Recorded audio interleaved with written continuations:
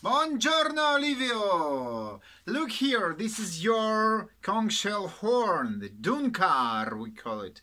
So listen to its sound.